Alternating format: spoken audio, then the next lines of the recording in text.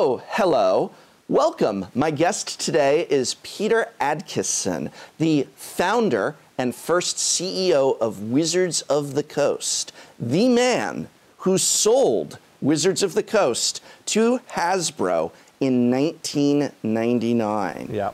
Peter is also the owner of Gen Con, which uh, you've probably heard of, one of the biggest gaming conventions in the world. Is that fair to say? Uh, let's see. It's the largest tabletop game convention for consumers. All right. We're at about 65,000 unique attendees each year. Fantastic. So Yeah. I'm, I'm really thrilled to have you here in Thank the you. belly of the beast at, at Tolarian Community College. And the very first question, I'm going to throw it out. We're going to get right to it. My very first question to you. This is what I actually asked people. What should I ask him? And overwhelmingly, every response is, why?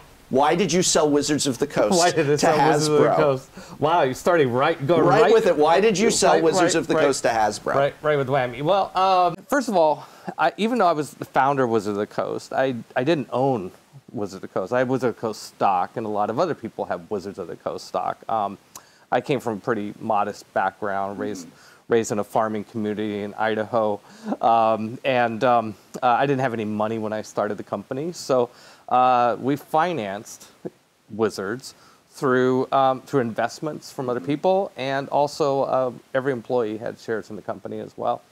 And so, when we got to a certain size, you know, when we were small, nobody cared. You know, people get stock in the company and think, oh, it's probably not worth anything, whatever, right? How, how cute. so, then uh, when Magic came out, and our revenue and profit started going off the charts up and to the right, uh, people started getting out their calculators and figuring out what their net worth was, and going, oh, well, okay, but they couldn't really actually buy a house with you know this paper stock in a privately held company, and so. Um, there ended up being a lot of pressure uh, in the mid 90s uh, for what's called a liquidity event um, within the company. And in other words, for people to cash out this stock that they have, convert it to money, and go improve their, you know, their, their lifestyle, you know, their standard of living. Um, people, we had employees that were worth, that were millionaires on paper, Wow. uh, but no way of actually using that cash and or converting that to cash. And so um, we, you know, we brought in investment consultants, people that could help us solve this problem. What do you do with a privately held company uh, when the shareholders want liquidity? And um, uh, we were given several options. You could do an IPO. Turned out we weren't really uh, the type of company that would do well as an IPO. Uh, we did seriously consider doing a, uh, a leveraged buyout where you get a big investor to come in and buy out most of the shareholders. Um, and I can go into why that ended up not really being that attractive to us. Um, but the other was just to sell the company. And so it was really pressure from the shareholders and employees who, who wanted to get um, cash for that. And now, if I would have really not liked the idea, then maybe I, it wouldn't have happened. But you know, by by 1999, I'd been doing it for nine, almost 10 years. Sure. And you know, I really started Wizards of the Coast to make games and um, lots of games, not just uh, you, you know a couple of big games. And Magic got to the point where um, the company got big enough; it was became very difficult for us to experiment with small with small games. Like, oh, let's do a one-off board game or a one-off card game or role-playing games and, and, and so on and so forth. So it became um, it became less of a playground and more of a well, what do you do with Magic the Gathering? You know, ten years after it's launched, right? I mean, now it's thirty years after it's launched, right? You know, um, and that that sort of challenge of of how to manage Magic and at the time Pokemon and Dungeons and Dragons um, over time became less interesting for me, and so the combination of all these factors said, hey, you know, let's cash out, go do Sure. something else. Do you ever regret selling? Do you ever think maybe that could have, you know, maybe I wish I had not done it that way? You know, I always thought that I, I didn't think I had any regrets at the time, and I always told myself I never would. But I kept expecting that oh, maybe someday you'll regret it, and I, I you know, I really never have. I mean, I it's a wonderful company, and I'm really proud of having been the CEO for Wizards for 10 years, um, for doing the TSR acquisition, the Dungeons and Dragons acquisition, and for bringing Pokemon uh, to America and so on. But um, it's it's really nice to move on and do other things in your life and, and stuff. So no, no regrets. What are some of the things that Hasbro coming in as this billion dollar multinational corporation has been able to do or was able to do in uh, taking over ownership of uh, Wizards of the Coast that, that you as an independent company could never do? And you remained on actually for two years. Uh, a little over a year, actually. A little over until a year. Early 2001. So Yeah. did you witness some dramatic changes in terms of, oh wow, we could have never done that, and now suddenly you had the ability, or have you seen stuff since then where it's like, oh wow, like what I'm getting at is Yeah. what. Hasbro ha- Yeah. is able to offer that you you could never do without them with the game. So, um, first of all, disclaimer. You know, I, I have no idea what's happened at Wizards with Hasbro over the last 18 years, Right. right? So, what's happened since then? If Wizards has helped, uh, or Hasbro has helped Wizards in certain ways that I don't know about, that's entirely possible. But I think we um, sold to Hasbro a company that was very good at making trading cards. Uh, you know, we, we, we were very good at making magic cards, making magic sets, uh, getting them printed, getting them shipped, distributing them, do organized play. Um, we were already into distribution in the mass market to the extent we wanted to be. Hasbro uh, was not really able to bring anything to Wizards um, except in one arena, and that is media, in terms of, of like a movie deal or, or a TV series or something like that. Now, that hasn't happened yet. No. 18 years, but No. every few years there's another rumor, right? Like, oh, there's going to be, I, I guess the latest one is uh, Netflix, Netflix. Netflix by the. Russo brothers of Marvel fame. Yes, yes. Okay, well, great. I mean, that's something we tried to get some sort of deal like that uh, for a movie or TV series, and um, we didn't have the right connections. Uh, we didn't have it, you know, it wasn't in our DNA to go out and, and try to get a movie deal done or a TV series or something like that. Uh, but Hasbro has um, uh, seemed very keen on that. Um, and uh, so, uh, if that eventually happens, then we'll, you know, then great. I, I, I, know, I think also to Hasbro's credit, even though I can't get up there and say, oh, Hasbro did these great things for Wizards, I also don't think Hasbro did anything to screw it up either. That was my next question is do you feel that one of the fears so magic players also we don't always know where the sausage is coming from as as the saying goes. And so a great uh, item of conversation is when certain announcements are made we speculate just as, as as interested consumers and engaged players was this something that wizards of the coast thought of and wanted to do, or was this perhaps the corporate overlords coming in and saying, "This is what we want to happen. You must comply"? Uh, uh, uh, on the reverse, is there anything in terms of like this is a I- corporate ownership? It's got its fingerprints You- all over it, You know, hu- hu- humans, right? humans do stupid things. Yes. Okay. So I mean, I think that if there's anything that you don't like that Wizards did, you could you could blame it on whichever faction makes you feel more comfortable, right? do. I mean, just uh, I I don't. Um, you know, I think you know we when I was there in the, the brief time post Hasbro acquisition, you know, we did arm wrestle a bit about uh, the best way to distribute Magic cards in the international markets. You know, um, but I, I think those are kind of minor grievances in, in, in the overall scheme of things. Um, and I don't know what's happened again in the last 18 years.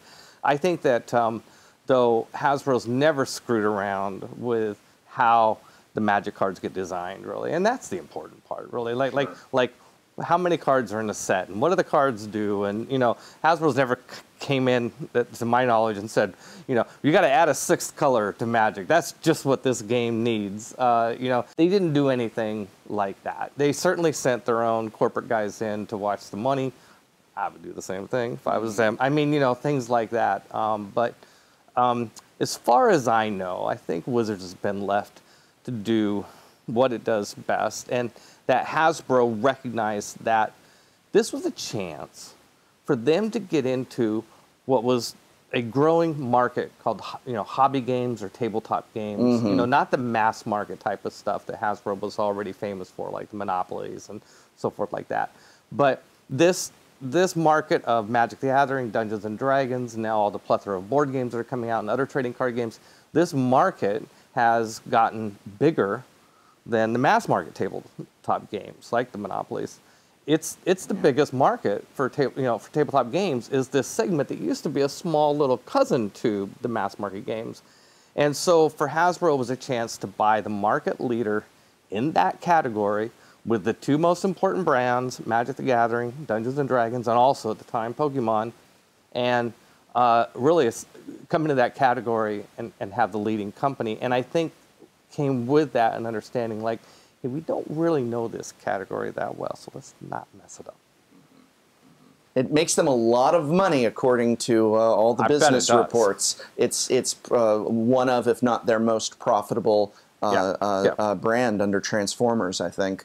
So you're, you you you certainly handed them a very uh, a golden goose. Well, uh, the I goose think that lays it's- the, I- the golden eggs. I I always like to say didn't hand it to them. Yeah, You- well, you got a yeah, few we sold golden eggs, Yeah, I yeah. hope. Oh, I was very happy with the deal. Yeah. I think our shareholders were very happy with the deal. I think Hasbro was very happy with the deal. I think at the time they might have thought they were paying too much, but time has certainly proven uh, that incorrect. And so I like to say, you know, Wizards of the Coast, it was built to last.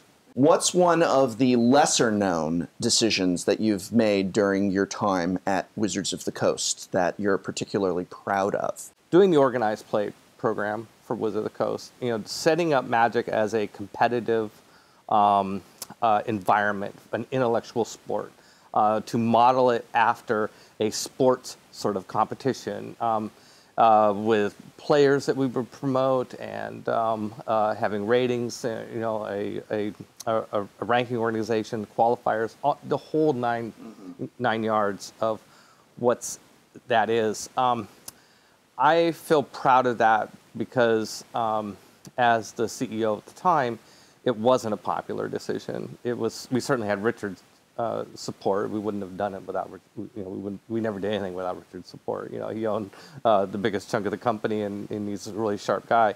So I I like I I I feel that that was sort of our smartest moment in terms of uh, of looking at where uh, we were also having market problems uh, with the in the in the um, aftermath of Fallen Empires, which you may know is an expansion that uh, we um, I have a story for you about Fallen Oh, Empires. I've got yeah. Okay, we can go there for sure. Um, so I think that that was um, uh, I think that's the part I'm most proud of in terms of my and just you know the role. It wasn't my idea. It was the Right. role I played in terms of of pivoting the organization uh, to do that. It was the 90s. I had just gotten into Magic the Gathering. I was 16 or so years old, and I loved Magic the Gathering. And my father, wanting to uh, support me and reward me, said, You know what? I'm going to get you a gift for this new game you're playing. I'm going to buy you a whole box of it. We went down to the. lo- I'd only been buying revised. I knew nothing. I was still new to the game. I knew nothing of other sets, this, that. Fallen Empires, coincidentally, had come out a few weeks ago. Uh, and went down to the local game store and uh, said, I have one box of Magic the Gathering, pointed at the revised. gentleman behind the counter said, You know, there's the new set Fallen Empires that has just come out, and we'll let you have two boxes of this for the price of one of the revised. I said, two sounds better. Dad said to me, well, what do you want? Whatever you want, same price. I said, two sounds better than one. And as I opened them up, I began asking, why are there no, uh, where's the Nightmare? Where's the Shivan Dragon? Where's the Dual Lands? I don't understand. These cards don't look very good. What's going on? That's my experience with Fallen Empires. That was a doozy. That was a Yeah. doozy. How important was the role of the local game store uh, in the early days of Magic the Gathering and other products that Wizards of the Coast made? the, the role of the game stores uh, has always been huge. I mean, really important. Um, the um, because you know, Magic is not a simple game. Uh, it's not a game that's easy to learn by just reading the rules. Um, and now, of course, there's communities of Magic, and there's all sorts of resources going online and so on and so forth that you can uh, find to help you learn. You can go to uh, Tolarian Community College. Woohoo! but in those days there wasn't the internet and so the retail stores became uh, were a very important sort of community center where you go and play magic play events and, and play with other people so the retail stores were really important and we tried to um, steer retailers you know in as, as best we could toward how to make their store you know a great environment, which is always kind of awkward because we weren't retailers until the late '90s ourselves. But you know, say, hey, good lighting, places to play games, teach the game, sell singles, run tournaments, all these sorts of things. Um, uh, we believed that that environment was absolutely crucial to uh, games like Magic: The Gathering and later Dungeons and Dragons and tabletop games in general. And um, I was always uh, I, I, like to study how Games Workshop did stores um, uh, before Magic became popular, starting in the 80s. Um, Games Workshop had really mastered this sort of philosophy with how they set up their stores and, and selling their products. And so, yeah, stores are uh, are very. I, I don't know how Wizards views it these days. I imagine they they um, uh, you know I lots of still has happens in stores, right? Right, right. do, do, do you think do you think that there could be a time where Magic could exist solely at say like Walmart and on Amazon and that there there is no local game store selling Magic? Could it just be at Walmart or something that is delivered to your home via Amazon but without any of that well, or well where do most games Magic get played?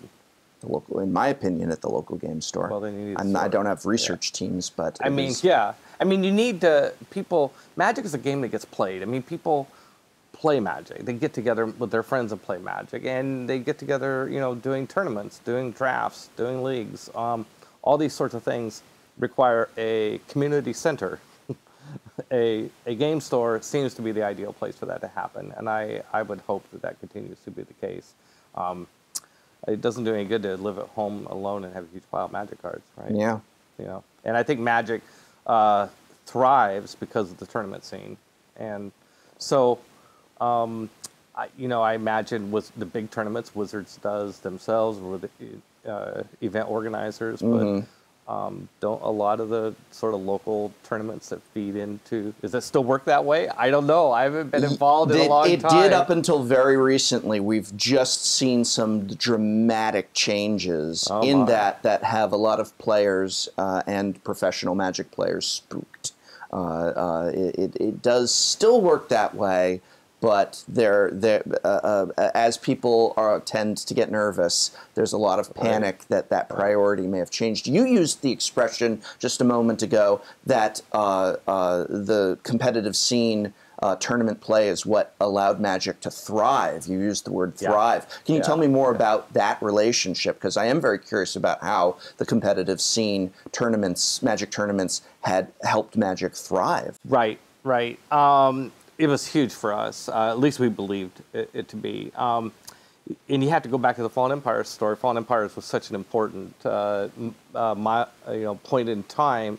Um, when the bubble burst uh, at Fallen Empires and, and Magic, you know, had reached its peak, and first time ever we supplied too much product, and and um, uh, then in the wake of that, is when we decided that we really wanted to shift the focus of the game towards competitive play, and um, and so we you know we believed that uh, organized play would help the game thrive, and that, that by branding it as an intellectual sport and doing all the tournaments and so on that we did, and the prize money, the promotions of it, the international aspects of it, having tournaments move around, our international partners were very excited about that.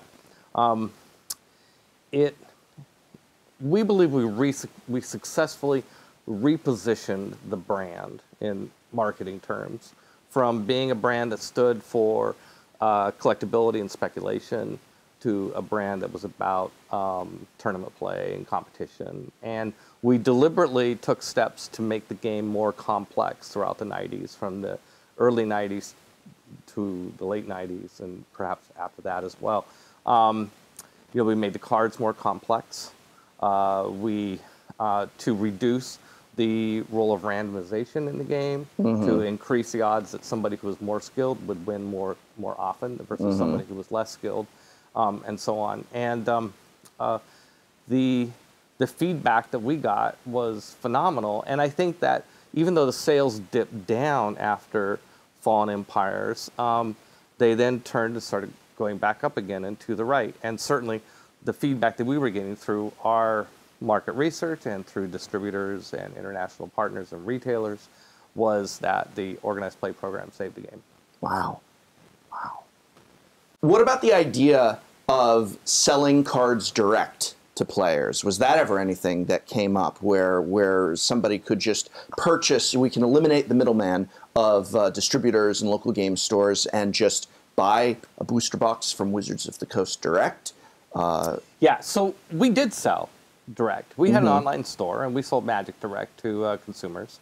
Um, we uh, would only sell, we, we would never undercut um, the, the market. Like if, uh, you know, we have the, what's called the three-tiered structure where, you know, retail, MSRP, right. wholesale, and, and our, um, our cost of goods and so on, right? So our philosophy was that we never, we always wanted to support the local game stores, that we believed that the game stores were really important and that um, um, that was really, we would rather everybody go buy at a game store than buy directly from us. Mm. Okay.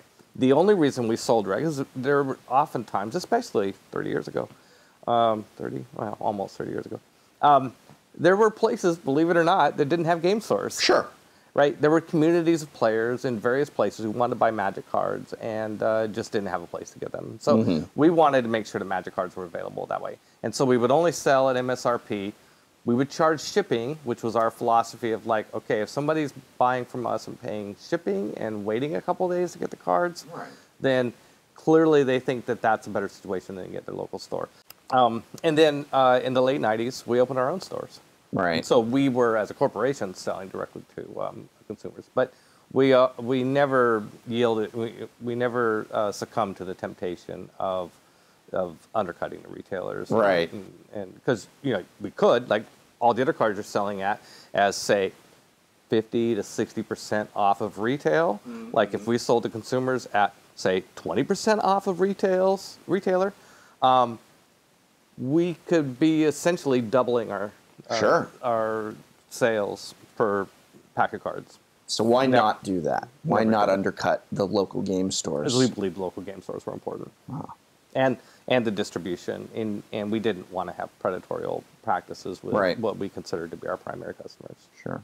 Do you regret any of your decisions out of the early days? Is there anything you wish you had done uh, differently in particular? I'm sure we all have long lists of this, but anything uh, uh, yeah, particularly you, strong? We went through a very uh, challenging transition uh, with our, our artists mm-hmm. uh, for the early Magic the Gathering artists, and um, and we didn't handle it real well uh, in terms of how we had to um, get certain rights back uh, for Magic the Gathering that we didn't um, that that we had given to artists. Uh, I'm talking about the very first artists, the very first right. Magic the Gathering, and so I I wish that I would have paid closer attention to and had a better understanding of what um, what those contracts needed to look like, and um, and would have you know played a I don't know been more intimate with the artists in in uh, in managing that transition.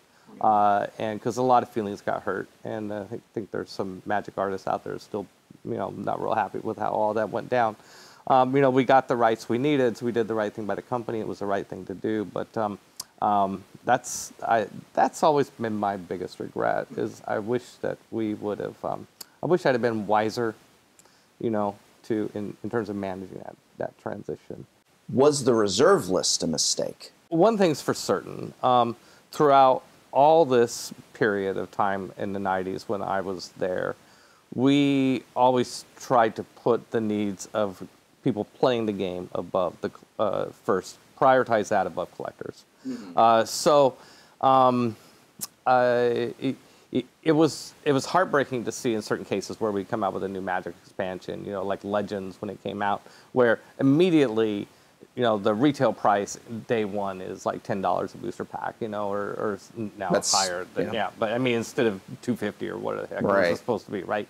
And so the fact that people wanted to play the game, wanted the cards to play with the cards, and couldn't get them at, at MSRP, uh, standard retail price, um, uh, was never something that we liked, never something we wanted, never something we artificially tried to manipulate the market to make that happen or anything right. like that.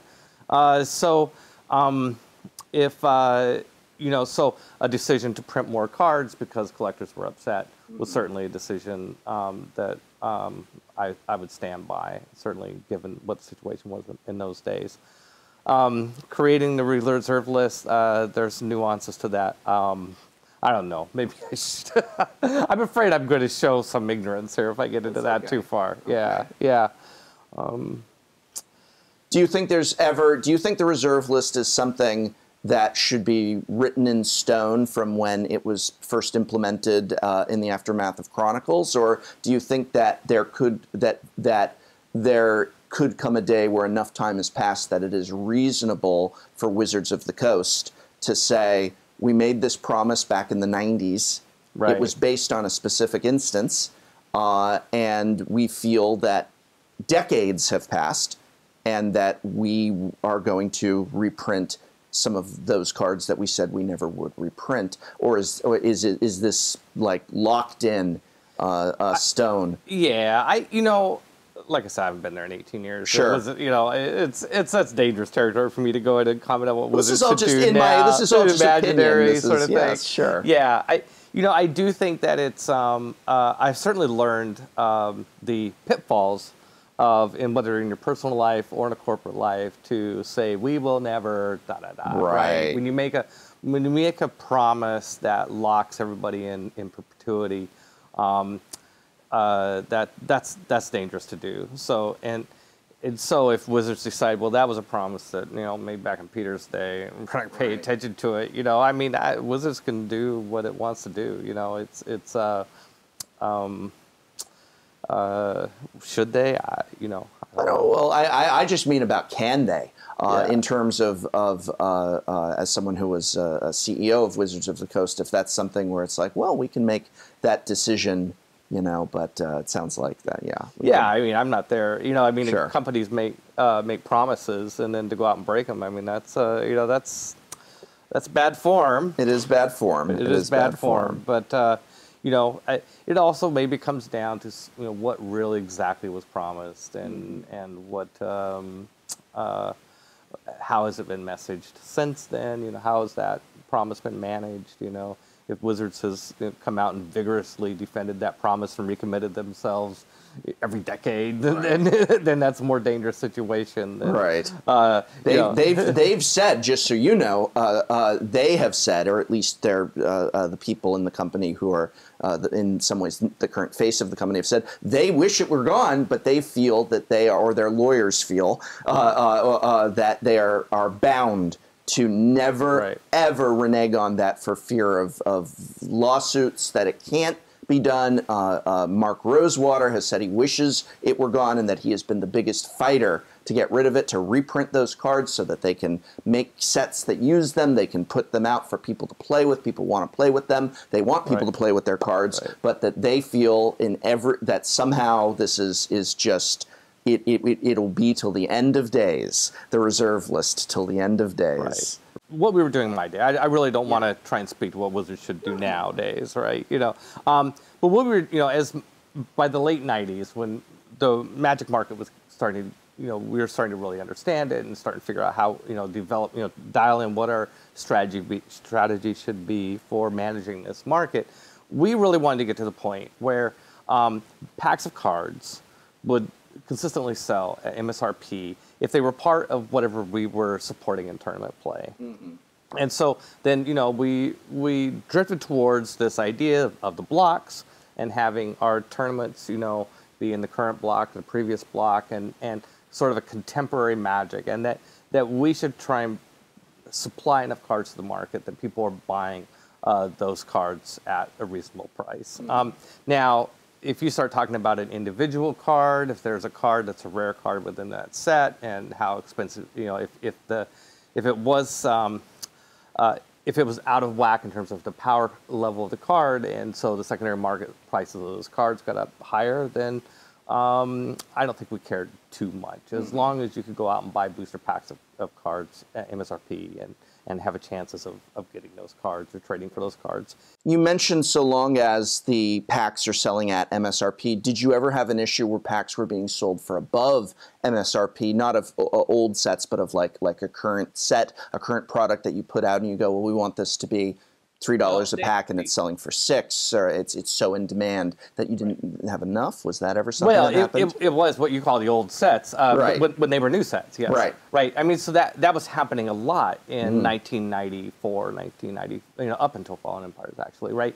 Uh, it wasn't until Fallen Empires, um, many good things came out of Fallen Empires, not just bad things. I mean, the the era of Magic after Fallen Empires we were much better understanding what the true demand was of the market, and we were able to dial in what our print quantities should be, mm-hmm. so that so that we didn't we didn't have those problems as often. But you know, if that problem happened, then that was you know when it did, it was certainly bad that it did.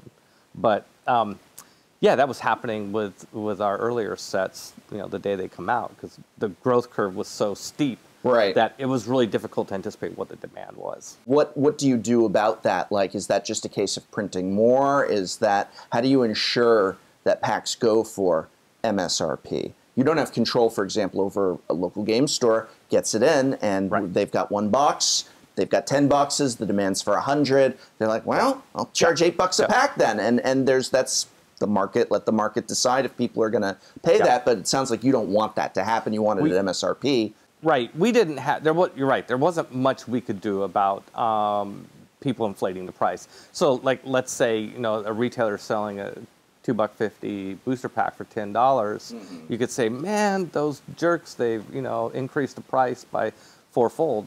Right. Well, you're assuming that they bought the pri- the product at the regular price. They may have gone out and bought that product from other retailers. They might be selling it at ten bucks. They went and bought it across the street for seven. You know, right? Uh, just so that they have it in their store, and that person bought it from somebody else for four, right? Sure. So um, you can't really come down on the retailer too hard for that. Uh, we tried to monitor with our distributors, tried to um, uh, monitor how, what pricing that they were selling cards at, and, and keep them from inflating the, uh, the price. And you can do that in the U.S. You can't always do that in other markets in some in, in, some markets it's maybe illegal actually to do it, and so uh, we always had to avoid that. So uh, really, the only answer is to have enough supply. And in the beginning, uh, up through Fallen Empires, um, every set, so Arabian Nights, Antiquities, Legends, Dark, we would um, decide what the print run was going to be we print that many cards and ship them. And we had an, an internal policy of not going back on press with, with those cards. Um, and it felt like we were needed to do that to be true to the model of trading cards and collectibilities, um, collectibles. But later we um, uh, we realized, you know, as long as we're not telling exactly in the moment how many were printed, um, who cares if a couple months later we print a few more, right? And, and they're still part of the same print run. And if we manage that carefully, and then at some point within just a few months of release, we turn off the spigot and say, okay, we're not printing anymore. Right. Then, then you know, certainly a year, two, five, ten years later, um, that really could be thought of as one print run. It, it's not sure. really going back. And so we um, we started to do that, or felt like we could do that, and mm-hmm. um, uh, stuff. How fearful were you as a company in the early days of religious groups and others that would be offended by things such as uh, uh, uh, the idea that, that the game might be demonic or satanic? I remember from high school, Unholy Strength was a card yes. that had a pentagram in the background, and then suddenly in the new edition, uh, everyone noticed the pentagram was gone. Uh, uh, was this a, I mean, obviously there was a reason for that removal, but was this something where you regularly had to have discussions about, we're getting complaints from, from mothers' organizations or parental groups, or I'm guessing religious organizations or, or, or, or, or people uh, uh, uh, very upset at demonic interference or things, or, and how much did you so, take that to, to heart? Um, hopefully I don't misspeak here because okay. I don't think we changed anything because of religious pressure. Now, uh, I could qualify that now. Yes. You know, because um, I first of all I was raised in a very fundamentalist uh, Christian. I was uh, in environment. I was raised in, in Idaho. Mm-hmm. Um, I got a lot of crap in my early days for playing Dungeons and Dragons. Right. It was banned. It, the game was banned from the where- from the high school I was going to school at, which is a a, a private school, com- uh, religious school, and, and I was banned from from specifically banned from running the game uh, at uh, at that school, and so I always actually had kind of a of a, a defiance about you know like like oh if religious people were upset about that you know, having religious people mad at me wasn't anything new. Um, I don't remember why the pentagram went away. I, I don't remember that card. I remember I can visualize the card, but I don't remember exactly what the discussion was on on on that. Um, I, I I just don't know. I do know that um, we would often talk, uh, have conversations about whether a card was offensive for reasons that, that we considered more serious, like Right. if the card was sexist Right. or racist. Right. Uh, you know, um, we we had a sensitivity about that in the mid '90s that um, um, that was I, I think we were ahead of our time. in- Sure. In, in that regard, you know, we're not using a you know using gender neutral pronouns Right. and all this sort of stuff like that was very very important to us. So I remember those types of discussions. Um, but um, I mean, we always had demons and stuff like that. Yeah. In the game, right? Yeah, I think. yeah. We- I was uh, just yeah. curious if there was ever a kind of like, you know, like an, I mean, listen, the, the, the, this church organization or, or this mothers group is really offended at demons. Where this is the li- like like well, this is the line. We're not Yeah. crossing this line. No, it sounds Yeah. like you didn't really. Uh, pay- you- pay you them know, any I, heed. should- I hate to admit it, but I was probably sort of secretly happy if anybody like that was upset about it. that was not an artificial Hasbro sort of uh, pr- approach. Uh, yeah, but um, no, I didn't.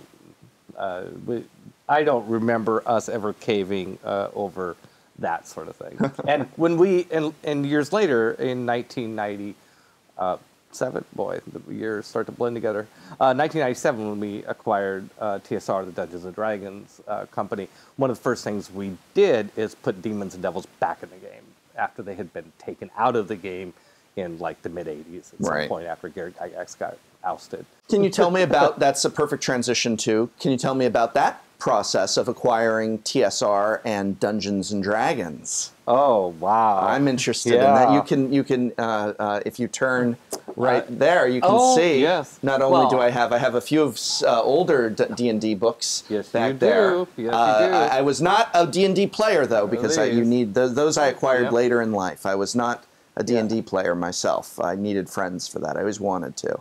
Yeah. Um, well, Dungeons and Dragons uh, was my first love as a gamer. I mean, I started off, you know, I, I played board war games as a, as a younger kid, and when I got into Dungeons and Dragons around 1978, I just loved Dungeons and Dragons uh, to death. Played it a lot, and when we started Wizards of the Coast, it was to make role playing products. We didn't start Wizard Coast to make Magic the Gathering.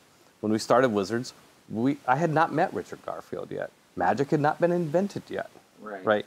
So um, now our early attempts at doing role playing games, uh, you know, uh, we had a couple of games that were critically acclaimed, which is you know Code Four. Didn't sell that well, but smart people in the gaming industry really thought it was cool anyway. And so, uh, and so we actually um, uh, got out of the RPG category um, by 1995ish or so, and and I kind of when we got out of that category, I kind of said, you know, that what I had concluded was that you know unless you had Dungeons and Dragons or maybe Vampire the Masquerade, um, it was a crappy category to be in from a business perspective Right.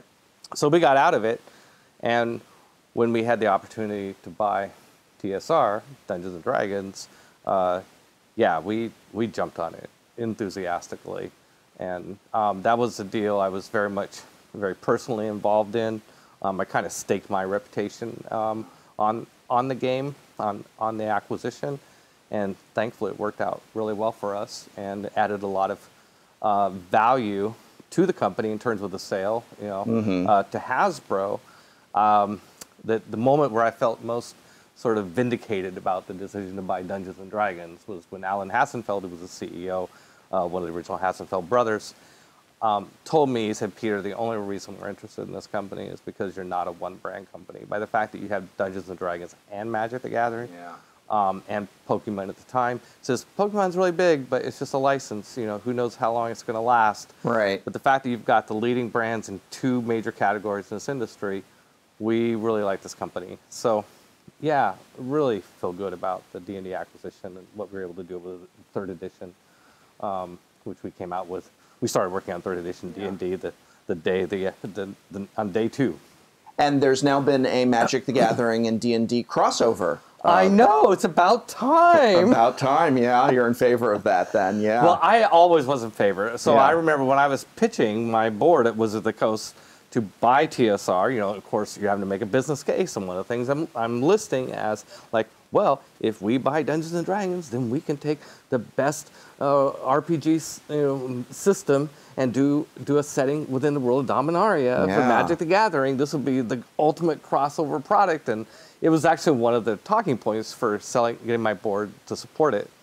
Uh, but uh, once we brought merged the two companies together, nobody on the Magic team wanted to do an RPG with Dungeons and Dragons set in Magic, and nobody on the D and D team wanted to have anything to do with doing D and D in the world of Magic the Gathering. It was like, okay, you just gotta, all right. I'm so glad It was a bit- finally doing that. as That's far as. I, as, as just consumer and what's revealed to us as consumers can tell, mm-hmm. it seemed to have been a huge success and received very well by both communities. So hopefully we'll see more of it. But again, I only know what, what, what gets made public, but it sounds like it was a huge success. Oh, that's great. Yes. I, it's good to hear. And you know, and maybe it was smart to wait, right? I don't Sure. know that they needed to wait 20 years, but you know, doing it on year one might have been a mistake. bit much. right, right. Richard Garfield came up with Magic the Gathering, but how much was the branding, the logo, the design, the look of the game something that you and Wizards of the Coast handled? That wasn't just Richard Garfield, right? How did you come up with that Yes. stuff? How did you envision that? Yeah, uh, Richard had a big impact on um, the design, but yeah, he he worked as a classical sort of game designer, if Right. you will. Like, here's the design of the game, but a game designer will often give prototypes of the game. So, you know, he did prototype magic cards. You've probably seen these. There's, Right, yeah. yeah, yeah. There's there's these these things are floating around in the secondary market still.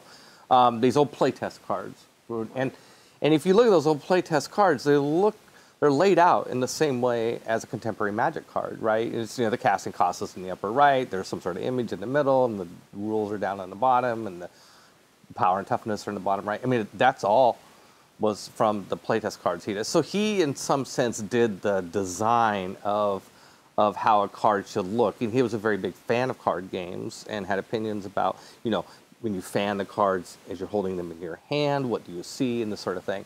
Um, and then, but that's that's where it ended. Um, uh, in terms of the graphic design, yes, Jesper Myrfors, who was our art director at the time, um, and Lisa Stevens, who was our sales and marketing um, uh, VP at the time, uh, who had worked at White Wolf. She was the only person in the company that had actually worked at a game company somewhere, so she she had all sorts of special skills, uh, and so uh, I think they collaborated a lot, but mostly it was Jesper's vision. Like, you know, probably the most common magic um, thing that you see is the back of the card, right? Right. The back of the card can't change. I mean, because you know you, you can't be able to, you know, you gotta, you gotta be able to can't tell the cards apart, right? Um, so Jesper did that, and um, pretty sure he did the logo, the original logo, which um, uh, and the the way it was packaged and sort of things like how big the cards were. Ultimately, the the radius on the corners, you know, a little change there between alpha beta. Um, that was our printer. Uh, the the original printer for Magic the Gathering was a company called Cartamundi. They're based in Belgium. They still Uh, they still and print. They still print. Um, and so that um, uh, the as you got into what the cards physically looked like in the paper and what the packaging uh, design of the packaging, not necessarily the imagery on it, but the design of the packaging, Cartamundi had um, a huge impact on that because again, we had no idea how to package cards. You know, we were so naive. It's really funny. I mean, Yeah. I, I remember the day Luke Mertens from Cartamundi called me and said, "Well, how are you going to package these cards?" And I, what do you mean? So it's like, well, like a little box, uh, you know, like like the boxes and booster packs, and then the display boxes of Right. you know, with so many, you know, with ten deck boxes in a display box with thirty six boosters and it, you know, we hadn't really thought that out. it's like you know, like oh yeah, and so he suggested that. Right. He suggested that this is what you know what the point of purchase. He called it a point of purchase display, and and it's not like you know we couldn't keep up with the conversation. Like oh yeah, that makes sense. Okay, and and stuff. But um, yeah, that was During your time with Wizards of the Coast, what is your overall favorite product that you came out with, uh, just on a personal level? Just it was it's it's or one of them. I'm sure uh, picking a favorite's hard, but what's Right, your right. favorite product, just in terms of uh, uh, that came out under your uh, uh, stewardship? Well, original Magic. Well, anything, right. anything. I Do you- mean, what's no, your favorite? no, doesn't that- we don't doesn't That, that's the answer. Yeah, That's- original. yeah, ma- yeah, original oh, magic. oh, yeah, oh. original magic. Yes. I mean, like, I mean, everything after that is great. It was wonderful to do all the expansions, but Right. you know, so you, you, you compare to the, the, what the world was like before original magic came out, and then Mm-hmm. what the world was like after original magic came out, and and th- that was sort of the biggest jump forward into sort of the joy for us and millions of people around the world playing games, and Yeah. and it was the you know just to go back to that moment of you know here's this game. It's called magic. It's brand new. And this is how you play it. And uh, just you know the pitch of how you would explain it to people and see people try it and just it light up their worlds. And seeing um, uh, just how the, the market responded so well to it uh, and it was so satisfying to be um, in in a historical moment, right? You know, you look back to those moments in time when somebody shows you a game uh, and it has a mechanic that you've never seen before. I remember the first time I saw Dungeons and Dragons, and um, the idea that the way you played, you know, a role playing a game, and just this light bulb went on, like, oh my God, this is so amazing. Um, to have had the opportunity to, to create magic and, and have that experience again myself and, and people around me, and then for gamers all over the world, wow, uh, that's that's of course that's it, man. That's you know, there are other things I really liked that we did, but that was by far the best. You've changed a lot of people's lives in doing in doing that, mine included. Thank Wow. you for that. And my life was changed Right. by, you know, and thanks to Richard Garfield, I hope that I never ever say anything to detract from, you know, it was his invention. You know, he's he's the man. You know, he created this game, and um, I just feel so lucky that I was in the right place in the right time and had a smooth tongue, I guess, and talked him into letting me publish it for him. You know, I will take care of this. I will take care of you. We'll do this thing. And um, yeah, wow. So tell me a little bit about Fireside. What is Fireside? It's one of the things you're focusing on right yeah, now. Yeah, sure. Well, thank you. I appreciate it because I'm really excited about it. So it's called Fireside with Peter Adkison, and we, we even have a little uh, a little set with a little fire, the fake fire that's burning uh, in it, and it's like the fireside chat. It's like sitting around talking, and um, our thing is like we go in search of untold stories from people be, uh, behind the scenes of of great games. And uh, this season and next season too, uh, we're focused on Magic the Gathering. And so what it is is that I sit there, like you've been interviewing me today. I sit there with people who uh, each week we have one person come in and um, uh, and who was involved with Magic the Gathering in the very early stages, either you know the creation of Magic or the early days of publication, um, sort of 1991 and 1995 era. The people that I worked with that helped make it happen. So uh, we've had Skaff Elias on the show, Jim Lin. Uh, is on the show. Richard's promised me he'll come onto the show uh, at some point. Uh, he's been down here in Portland for a while. I got to get him, you know, when he gets back up to Seattle. We've had Lisa Stevens uh, on the show. Uh, Beverly Marshall Saling is my co-host um, for season one, and she was somebody who I think the world of. We worked together at Wizards throughout the '90s. She was our executive editor, and um, so she was a, a, continuous voice through the history of Wizards. And so we'll have somebody come in. We had uh, Vince Galore come in, who was um, my uh, my mentor in business. You know, so he's uh, in his 80s now, uh, getting up there. But everything I learned about business, I learned from him. So we had him come in, um, and so we just sit there and talk about you know the, those you know it's like like a bunch of old people sitting around talking about the glory days right. you know, back when we were in charge and the things that we did and this is broadcast yes. on twitch and then archived on youtube is that that's right that's right that's right so uh, fireside with peter Adkison, it's on twitch it's on gen con tv uh, mm-hmm. gen con tv is a, a gen con channel on twitch and so uh, each episode uh, we're doing it on wednesdays pacific time at noon um, most wednesdays and then it stays up there for a couple three days, and then it gets archived on the Gen Con videos um, site on YouTube. Cool. Yeah. So um, I'll, I'll, put yeah. some links in the description. I, I, highly recommend it if you really want to get into the nitty gritty, especially of Magic with the Magic the Gathering talks and hearing all the old timers talk about the early days and history of Magic. It's right. an amazing resource to check out. As the uh, owner of uh, Gen Con, what do you make of Magic's diminished presence there? And what, why doesn't Magic have a stronger presence at Gen Con? Uh, uh, I, well, I mean, I mean, short answers you'd have to ask Wizards. I mean, we're right. certainly not keeping them them out, right? Yeah. Um, I think that um, uh, if I were to try to be charitable to Wizards' case, I think that um, they like to have tournaments run in environments that they they can control more, right? So if you take a um, uh, typical what are they, Grand Prix, are they still a thing or Pro For Tour now, events? Yeah. Pro Tour is no longer a thing. It is now called the Mythic Championship. Okay, Mythic Champion. Yes. Well, I bet those championships are not held in a convention with a thousand other games being played, right? That is true. Right, and so that's the challenge: is that um, we uh, you can go to a store, you can go to a Mythic Challenge event and play in a tournament without having to buy a badge to a convention, mm-hmm. right?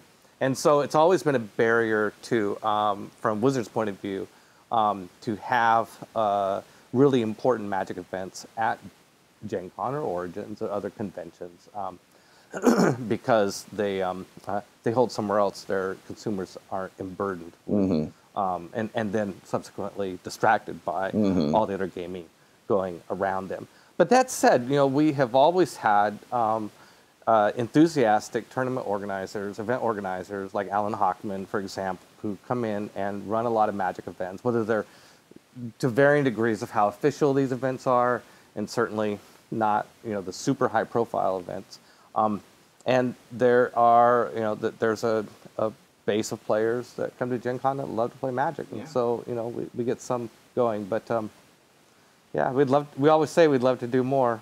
Cool. Well, I'm looking forward to checking out Gen Con for the first time this year. Well, I'd love to have you out there, and um, I would love to give out some free badges to your followers at oh, Gen Con. Okay. If, if, you could do that. Sure, absolutely. Uh, uh, how many badges do you want to give away? Uh, how about 10? Does that seem like a good number? I, yeah, 10 sure. badges. Okay. yeah, so uh, yeah. if you are subscribed. Free free of charge. All right. If you are subscribed to Tolarian Community College, uh, just go ahead and check out uh, the link. I will also post the link on my Twitter and my Facebook for wherever you follow me to get it. And 10 Gen Con badges. That's right. Uh, being given away by the generous owner of Gen Con, uh, the founder of Wizards of the Coast. Thank you. The first CEO, the man who sold to Hasbro.